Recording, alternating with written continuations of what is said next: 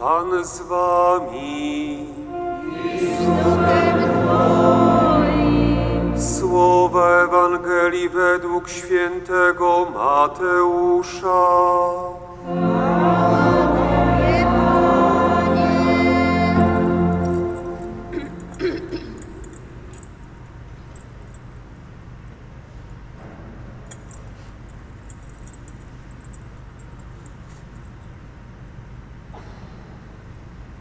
Jezus powiedział do arcykapłanów i starszych ludu: Posłuchajcie innej przypowieści. Był pewien gospodarz, który założył winnicę. Otoczył ją murem, wykopał w niej tłocznie, zbudował wieżę, w końcu oddał ją w dzierżawę rolnikom i wyjechał. Gdy nadszedł czas zbiorów, posłał swoje sługi do rolników, by odebrali plon jemu należny. Ale rolnicy chwycili jego sługi i jednego ubili, drugiego zabili, trzeciego zaś ukamienowali. Wtedy posłał inne sługi, więcej niż za pierwszym razem, lecz i z nimi tak samo postąpili. W końcu posłał do nich swego syna, tak sobie myśląc: Uszanują mojego syna. Lecz rolnicy, zobaczywszy syna, mówili do siebie: To jest dziedzic. Chodźcie, zabijmy go, a posiądziemy jego dziedzictwo. Chwyciwszy go, wyrzucili z winnicy i zabili. Kiedy więc przybędzie właściciel winnicy, co uczyni z owymi rolnikami? Rzekli mu: Nędzników marnie wytraci, a winnicę odda w dzierżawę innym rolnikom, takim, którzy mu będą oddawali plon we właściwej porze. Jezus im rzekł: Czy nigdy nie czytaliście w piśmie? Ten właśnie kamień, który odrzucili budujący, stał się głowicą węgła. Pan to sprawił i jest cudem w naszych oczach. Dlatego powiadam wam, Królestwo Boże będzie wam zabrane, a dane narodowi, który wyda jego owoce. Oto słowo Pańskie.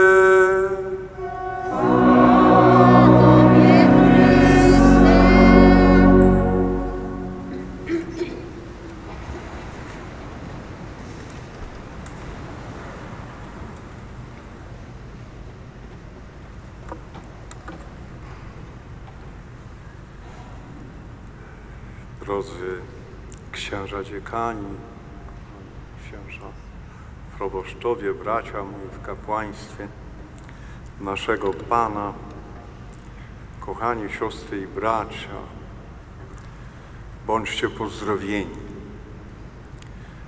W imię Boże. To jest tak niezwykła, niecodzienna uroczystość, całe miasto i cała konferencja episkopatu łączy się z tym wszystkim, co dzisiaj tu między innymi robimy. Przed południem rozmawiałem z księdzem arcybiskupem łódzkim i wyrażałem mu swoją satysfakcję i radość z powodu tego, że mogę włączyć się poprzez tę mszę świętą, poprzez to słowo, miejmy nadzieję, krótkie, w obchody, które sprawiły, że biskupi całej Polski przyjechali do Łodzi i włączają się właśnie w te uroczyste obchody. Dziękuję też publicznie księdzu arcybiskupowi za zaproszenie do udziału, a gospodarzowi świątyni dziękuję, że zechciał przyjąć mnie tu w tym pięknym kościele. Wszystkie najważniejsze wydarzenia chrześcijanie od wieków świętują w oparciu o mszę świętą. Niczego piękniejszego i cenniejszego nad mszę świętą nie mamy. Wierzymy przecież, że tu dotykamy samego Jezusa Chrystusa. Tu słuchamy tego, co do nas mówi poprzez słowo Pisma Świętego. Tu korzystamy z Jego zaproszenia, żeby przyjąć Go w naszych sercach, by stał się naszą siłą na tej drodze, która prowadzi nas w stronę Pana Boga.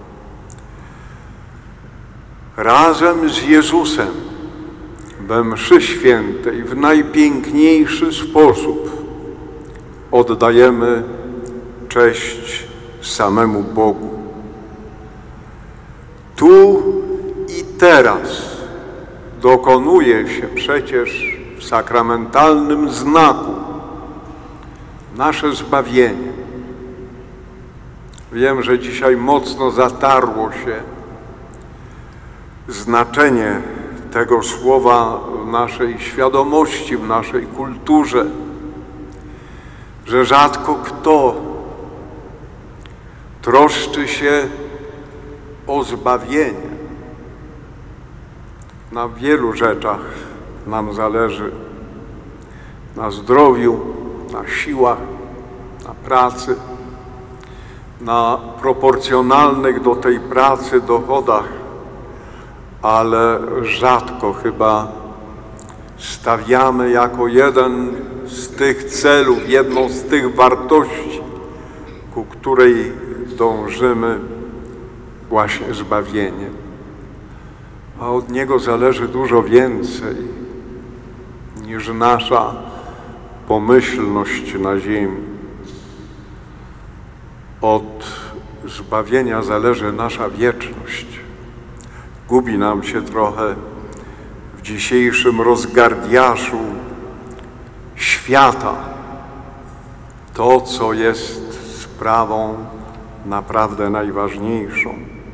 Dlatego potrzebujemy tego zatrzymania przy ołtarzu Jezusa. Dlatego potrzebujemy niedzielnej, zwłaszcza mszy świętej. Niedzielnej i mszy świętej. Bo centrum tygodnia chrześcijanina od samego początku zawsze była niedziela, a centrum niedzieli msza święta, w której uczestniczymy. Ta niezwykła okoliczność stulecia działania, istnienia i pracy archidiecezji łódzkiej daje nam oczywiście najpierw okazję do dziękczynienia Bogu, bo każda działalność lokalnego kościoła jest dokładnie tą samą działalnością, co troska całego Kościoła, czyli zbawienie człowieka. To znaczy doprowadzenie człowieka do pełni przyjaźni z samym Bogiem.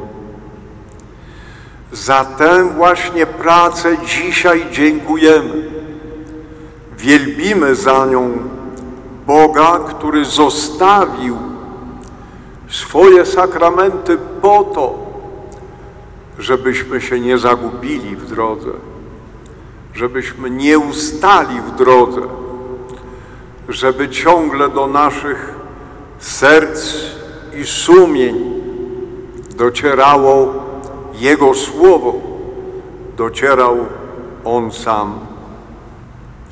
Dziękujemy zatem Bogu za Jego miłość do nas. Tak niesamowicie przejmująco opowiadał o tym prorok Izajasz, o tej Bożej miłości, podkreślając równocześnie, że dokonało się w narodzie wybranym coś, co jest największą tragedią każdej miłości zlekceważenie.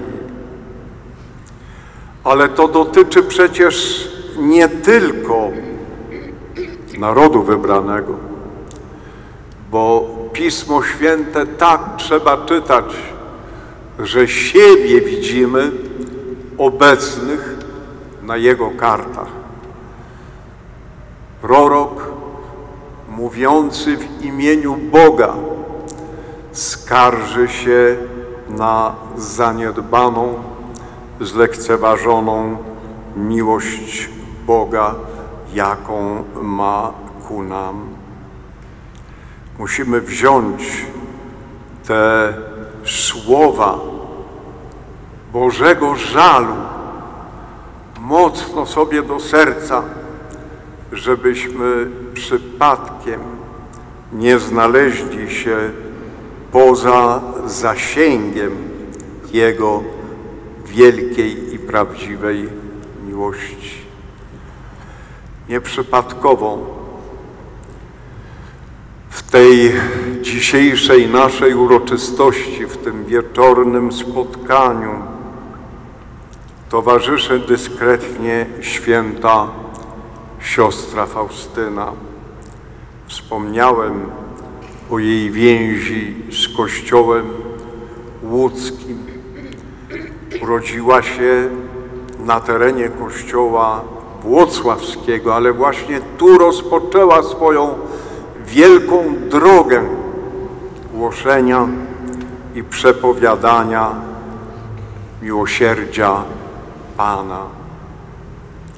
To właśnie przecież co roku organizowane w stolicy diecezji w Łodzi procesje wiodące ulicami miasta przypominają nam o tym związku świętej siostry Faustyny z Kościołem łódzkim. Prawdziwie ta święta jest pieśnią miłości, którą Bóg nieustannie kieruje w stronę swojego ludu. Zaśpiewam mojemu przyjacielowi pieśń o miłości. Ona właśnie przez całe swoje życie, ta, którą Chrystus sam nazwał sekretarką Bożego Miłosierdzia. Ona, tę pieśń o miłości, bo miłosierdzie to jest miłość pochylona nad konkretnym bólem człowieka. A zatem ona śpiewała tę pieśń miłości całym swoim życiem. A jednak nie wszystkim znane jest to orędzie. W Meksyku zatrzymałem się w jednym z kościołów, chyba to było w Puebla, i tak przy samym wejściu zauważyłem, że przy kratkach stoi jakaś kolumna. Podszedłem zatem do tej kolumny i zobaczyłem z niemałym zdumieniem, że ustawione na tej kolumnie były relikwie świętej siostry Faustyny. Tak, trudno znaleźć dzisiaj świątynię, gdzie nie byłoby obrazu Bożego Miłosierdzia, Jezusa Miłosiernego, gdzie nie ma świętej kultu, świętej siostry Faustyny. Ale nie wszyscy ten kult rozumieją.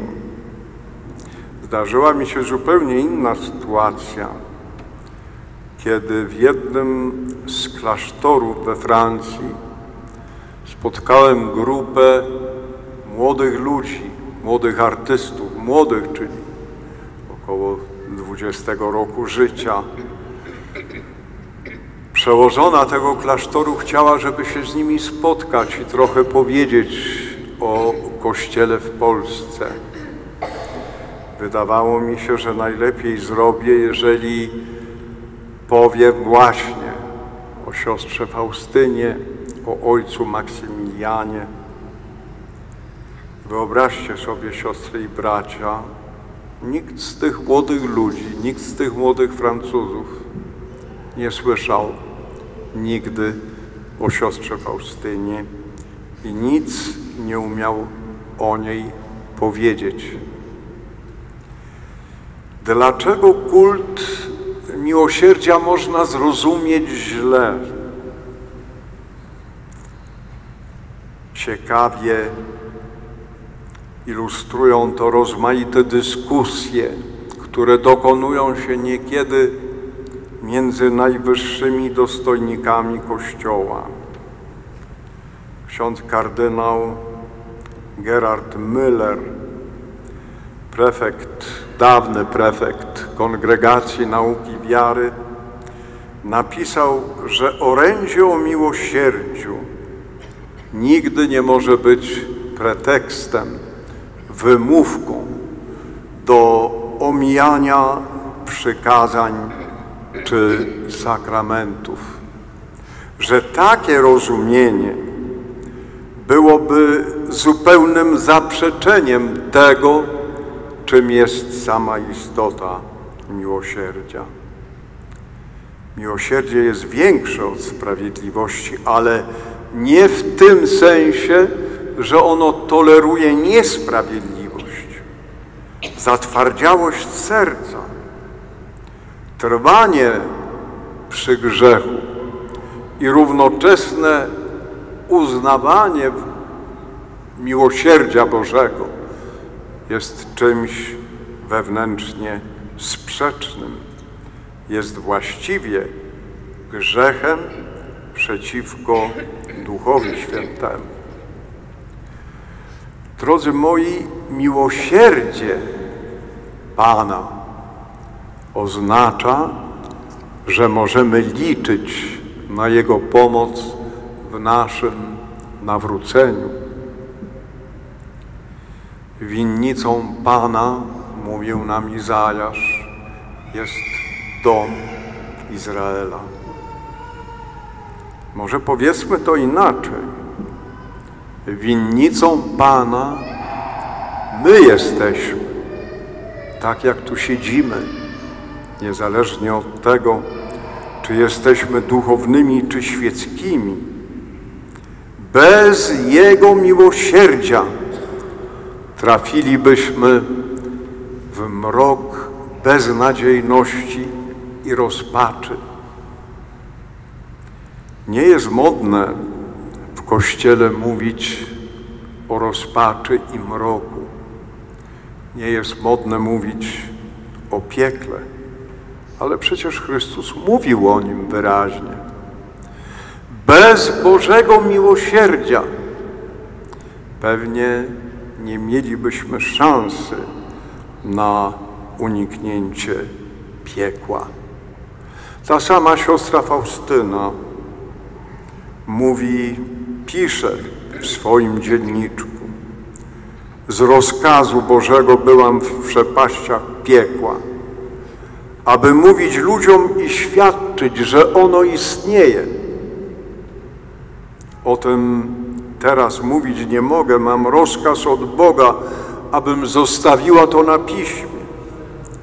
Szatani mieli do mnie wielką nienawiść, ale z rozkazu Bożego musieli być mi posłuszni. Kiedy zobaczyłam rzeczywistość piekła, nie mogłam ochłonąć z przerażenia, jak bardzo cierpią tam dusze. To też jeszcze goręcej modlę się o nawrócenie grzeszników i ustawicznie wzywam Bożego miłosierdzia dla nich. Rodzaje mąk, które widziałam, utrata Boga, ustawiczny wyrzut sumienia świadomość, że ten los nigdy się już nie zmieni, ogień, który będzie przenikał duszę, ale jej nie zniszczy, ustawiczna ciemność, ustawiczne towarzystwo szatana i straszna męka, rozpacz, nienawiść Boga, złorzeczenie, przekleństwa i bluźnierstwa. Powiecie mi, dlaczego mówię o tej rzeczywistości piekła, a właściwie dlaczego czytam ten fragment zapisków siostry Faustyny. Bo tak jak to mówił święty Augustyn, boję się Jezusa przechodzącego obok, mijającego mnie, nie zatrzymującego się przy mnie, nie, nie będącego zaproszonym do mnie. Drzwi do naszego serca, mówi o tym bardzo wyraźnie Apokalipsa, mają jakby klamkę od środka. Nikt jej nie otworzy, nawet Bóg sam, wbrew woli człowieka. Dlatego dobrze wiedzieć, jak bardzo trzeba być czujnym i jak bardzo licząc na miłosierdzie, zabiegać o własne nawrócenie. Cieszymy się przynależnością do Jezusa. Cieszymy się świętą siostrą Faustyną. Jesteśmy szczęśliwi z powodu więzi, które łączą naszą ojczyznę od tysiąca lat z Kościołem Jezusa Chrystusa. I słusznie, ale przecież musi nas niepokoić niewierność, obojętność chrześcijan. Niedawno czytałem taką piękną wypowiedź kardynała Duki, biskupa Pragi, że największym zagrożeniem Kościoła dzisiaj jest obojętność i letniość chrześcijan. Między innymi temu właśnie ma służyć ta msza święta, te jubileuszowe obchody, żeby rozpalić w sobie na nowo ten ogień, którym pałała święta siostra Faustyna.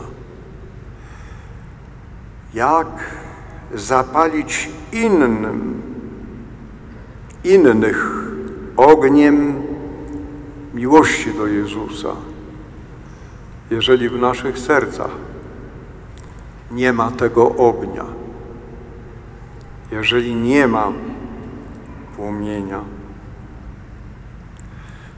Mamy pokusę myśleć, że dlatego, iż nazywamy się chrześcijanami, że zjawiamy się w Kościele, że Królestwo Boże należy do nas bezwarunkowo i na zawsze. Otóż tak nie jest.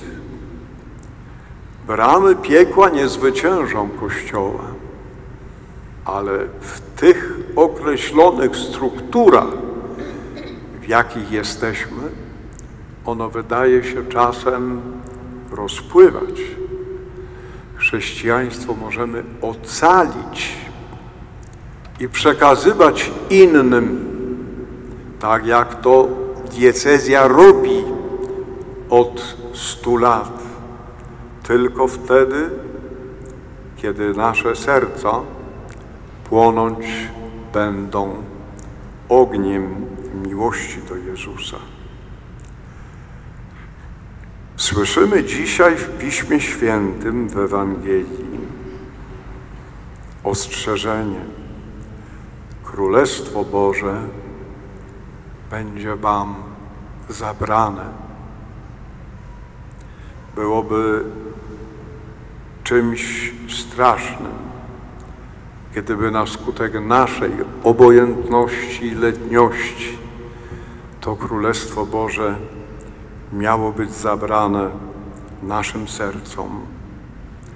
I tu dochodzimy do sedna uroczystości stulecia i naszych rozważań.